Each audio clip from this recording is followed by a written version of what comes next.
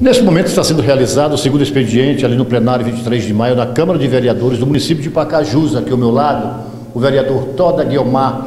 Hoje um, um assunto que chama, chamava a atenção de todos, inclusive até o plenário 23 de maio lotou, né? Muita gente querendo saber, teremos ou não teremos reeleição na Câmara de Vereadores do município de Pacajus. E aí, Tó, você que esteve à frente, você que debateu, você que questionou, você que, com os, com os demais vereadores, os 10 para ser mais preciso, né, poderem dizer o que desse projeto. Bom dia, Tó.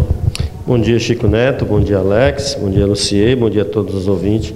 É, realmente, a gente, há, há, há quase dois meses, a gente deu entrada no projeto para acabar o fim da reeleição na, na, na Câmara Municipal, né, no cargo de presidente. E hoje foi feito o primeiro turno, né? E graças a Deus, hoje 10 vereadores compreenderam que, que era interessante, no momento, acabar a reeleição no município. E de fato isso aconteceu, a gente ganhou em primeiro turno, daqui a duas semanas a gente vai voltar ao segundo turno, e esperançoso, mais ainda, que a gente consiga novo êxito, para ver se a gente consegue tentar melhorar. A gente sabe que a mudança de poderes na democracia brasileira é interessante a gente desvincular isso, a gente dá oportunidade a outros vereadores de presidir a casa, isso é um direito deles também, e hoje a gente tem esse entendimento. A gente acha que é melhor para o município a gente acabar a reeleição hoje, nesse momento. Como é que você vê o posicionamento do Jair do Cival, do, da Elane, do Jales Camilo de voltar né, a favor para que tenha a reeleição? Ah, com o máximo de respeito possível. Ah, eu já fui vereador de situação, já fui vereador, hoje sou vereador de oposição, eu vejo com a maior naturalidade possível, ele tem o direito dele, a gente, a gente preserva, a gente respeita, né? a gente pensa diferente, mas a gente respeita, são colegas vereadores, são, são pessoas legítimas do povo, são pessoas de confiança, que hoje eles entenderam que o momento não era acabar e a gente respeita e acata. Paguinho ficou muita gente ali no plenário dizendo em cima do muro, e aí? Respeitar, né, Chico Neto? Eu também já votei projetos aqui, também não, não me abdiquei de voto, já votei contra, votei a favor.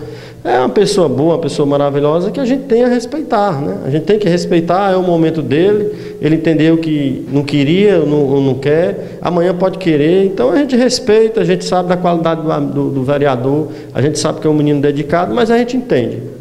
Tom, rolou né, muito nas redes sociais, nos grupos do WhatsApp, a questão aí é onde que eu faço a seguinte pergunta: foi o prefeito ou foi o pai do prefeito, pai do prefeito, no caso o José Wilson, que mencionou que não queria mais os vereadores? Paulinho da Cavalaria, Toda Guiomar, Reginaldo do PT, me ajuda aí, quem foram? Foram cinco ao todo.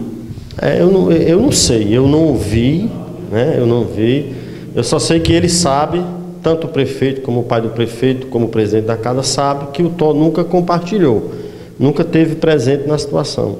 Eu não vou responder, Chico Neto, não queria responder quem, quem disse ou quem deixou de dizer, mas fico feliz hoje, se for realmente concretizado isso, que a gente hoje tenha mais parceiros, tenha mais opositores para debater, para questionar e, pra, e, e principalmente para ajudar o nosso município, porque o intuito é ajudar. A gente sabe que quando a gente se questiona, a gente sabe que quando a gente exige um serviço, a gente não está desejando mal nem para o prefeito, ou para o pai, ou para quem quer que seja. A gente só quer que as coisas melhorem no município. o que, que não está dando certo nessa administração? Falta boa vontade? Dinheiro mencionam em, em todos os cantos do município que tem que sobra. O que, que falta? Na minha humilde opinião, está faltando mandar. E a gente sabe que numa cidade se elege um prefeito para quê? Para ele mandar. Vejo o nosso, nosso amigo Flank, que tem o meu respeito, não está mandando, Flank. Você não está mandando na cidade. Você está deixando gente intervir, intervir em uma administração que é sua. Foi o povo que lhe deu.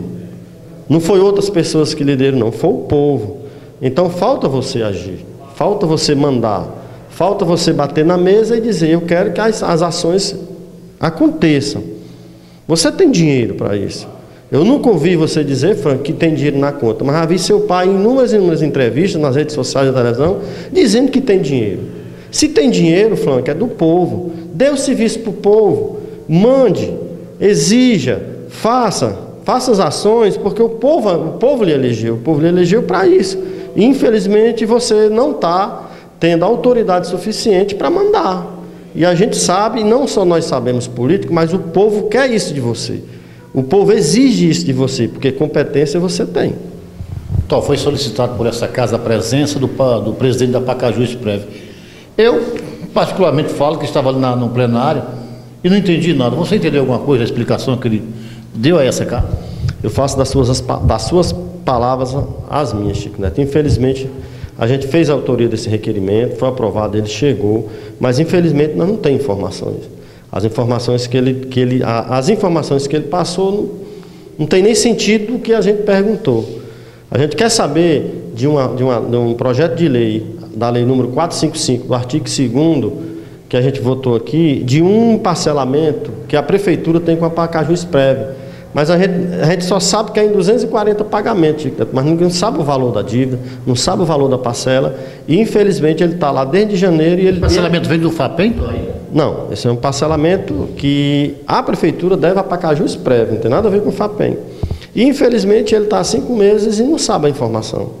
Né? Ele não sabe a informação da lei que veio para cá, de uma emenda que veio para. Não, lei não, uma, de uma, de uma lei que veio para cá que o nosso presidente, muito sabiamente, tirou de pauta, que era a transferência de uma dívida que o município tem com o FAPEM, ele querer colocar no Brasil, quer colocar no Pacaju Exprev, para os contribuintes do Pacaju Exprev pagar essa dívida que é de 118 mil reais aproximadamente todo mês. Isso é um absurdo, a gente, a gente aqui debateu antes, antes de ser votada a lei e o, o nosso presidente, com muita sabedoria, tirou o projeto né, e mandou voltar para o executivo.